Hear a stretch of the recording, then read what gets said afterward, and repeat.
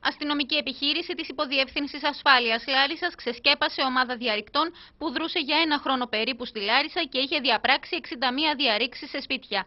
Μάλιστα, σε αρκετές περιπτώσεις οι δράστες κρατούσαν μία σακούλα με γλυκά για να μην κινήσουν υποψίες σε διερχόμενους και ενίκους πολυκατοικιών που τυχόν του αντιλαμβάνονταν. Οι δράστες που έχουν συλληφθεί μέχρι στιγμής είναι ένας 38χρονο ημεδαπός και ένας 30χρονο αλλοδαπός που διέμεναν στη Θεσσαλονίκη. πρωινές ώρες της 7 Τρίτου στη Λάρισα. Αρχικά εντοπίστηκαν κατά το χρόνο που εισερχόταν σε μια πολυκατοικία, τέθηκαν υπό διακριτική επιτήρηση. Στη συνέχεια, κατά την έξοδό τους, ενεργήθηκε έλεγχος. Στην κατοχή τους λοιπόν βρέθηκε ε, συσκευασία με ηρωίνη, διαρρηκτικά εργαλεία, ρολόγια χειρός και κινητά τηλέφωνα. Στον τόπο κατοικία του βρέθηκαν χρυσαφικά, κοσμήματα, μαχαίρια, κινητά, φωτογραφικές μηχανές και 25 δολάρια Ηνωμένων Πολιτειών. Σύμφωνα με τις δηλώσεις των παθόντων, η αξία των κλοπημαίων αγγίζει τις 440.000 ευρώ, ενώ 11.000 ευρώ ήταν τα μετρητά που είχαν κλέψει οι δράστες. Στόχοι των διαρρηκτών ήταν σπίτια και πολυκατοικίες που βρίσκονταν σε πυκνοκατοικημένες περιοχές.